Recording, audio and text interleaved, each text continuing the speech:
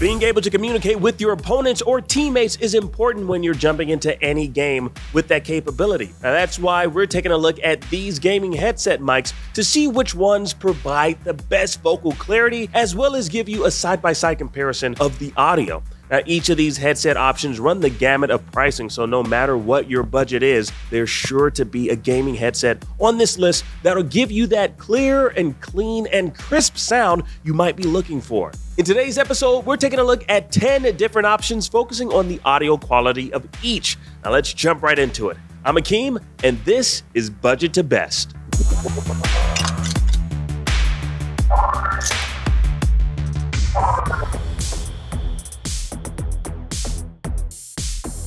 This is the Logitech G435. Now, one thing I'm gonna be doing in this video is switching between each headset's mic to kind of give you a feel for how each sound. So right now you're hearing the audio directly from the mic.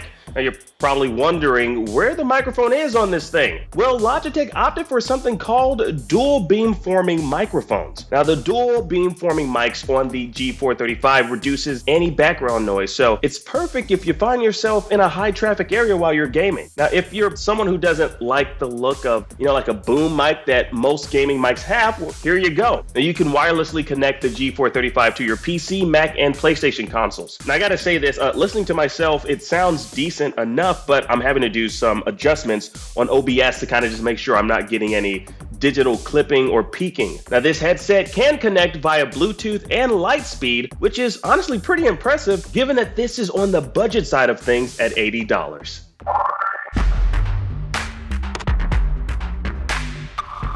This is the Logitech Pro X wireless headset. Right now we got the Logitech Pro X wireless which uses a cardioid unidirectional pickup pattern for the mic. And the Pro X wireless actually uses Blue Voice software which allows you to add some voice filters, clean up the audio and EQ a bit. Now you can add a limiter, some compression and an expander gate. Essentially, you know, everything you need to kind of get this particular mic to sound as good as you'd like it. Now the Blue Voice software is it's a it's a great novel idea, but if you're someone like me who kind of projects a lot, uh, you'll find yourself dealing with some clipping and trying your best to find that happy medium to where you're able to bring out more warm audio tones and less of that compression, which makes it sound like, you know, it's FM AM radio. But still at 230 bucks, this is one of Logitech's best sellers in its Pro series of gaming headsets.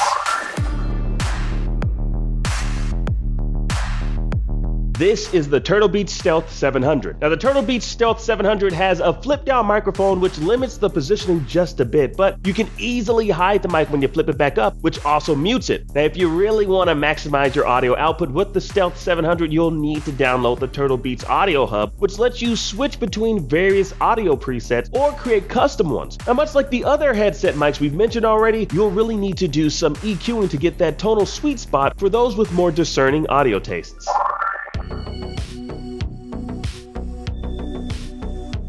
This is the SteelSeries Arctis Nova 7. Now, the SteelSeries Arctis Nova 7 uses something called Sonar Clearcast AI algorithms to cancel out surrounding noise. Now, that sounds really cool, but listen to how I actually sound. Now, for me personally, it's far too tinny, which you can clean up in SteelSeries Sonar software suite. Now, you can tweak the audio and EQ in that software, but outside of doing that while on PC, you won't see those same benefits on console. So, what you're hearing hearing right now is what you'll get straight out of the box.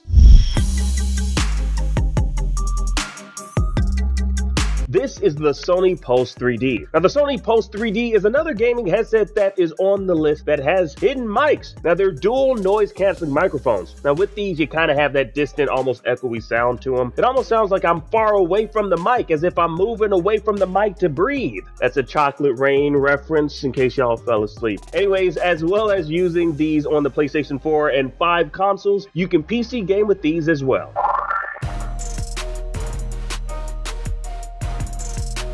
This is the Xbox wireless headset. Now, the Xbox wireless headset has voice isolation, which helps reduce background noise, and it auto mutes when you're not talking. Now, you can also jump into the Xbox Accessories app to fine tune the audio controls a bit more, mess around with some of the bass levels and sensitivity. Now, the mic on the Xbox wireless headset doesn't stand out, but it does get the job done as far as providing decent comms.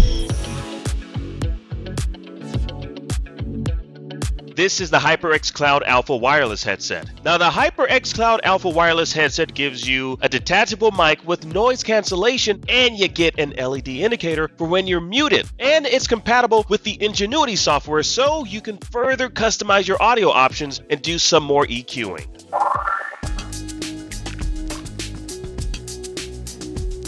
This is the Corsair HS80 headset. The Corsair HS80 has an omnidirectional mic, flip-up feature to mute with an indicator, and along with being PC compatible, is also PS4 and PS5 compatible. And much like the other headsets we've mentioned, you can take full advantage of how you sound by using software. This one uses the Corsair iCUE software where you can tweak and customize your audio profile. Now, I've listened to the playback of my audio with this one, and honestly, it sounds amazing. This is how I sound without tweaking anything using iCUE, just straight out of the box using OBS. Now it sounds great to me. Now I love this one, only downside is there's no Bluetooth, only wireless connectivity. But for $150, the Corsair HS80 is a solid choice.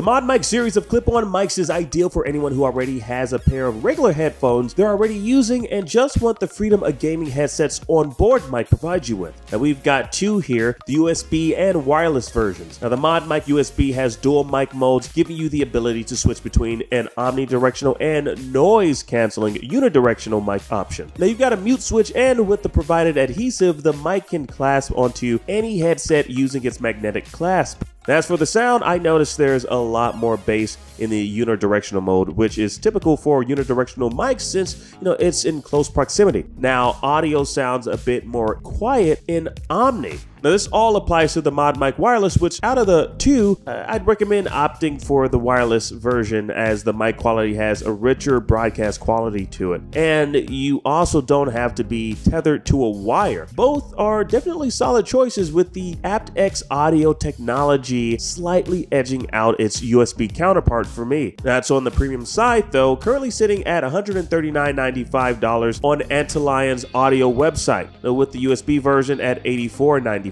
Now, both are operable on PS4, PC, and Mac. Pretty much the best option for those who already got the sound quality figured out with a great pair of headphones who are just looking for premium sound at an affordable price. So there you are. What do you think? If you have any of these, let us know in the comment section. Now, each of these gaming headsets have unique features you can read more about on IGN. Now, we also have a series of videos on the best gaming headsets for each console. As for me, out of these, uh, the Corsair HS80 is definitely my favorite, as it's just, you know, an all around solid gaming headset. But I'll let you all be the judge.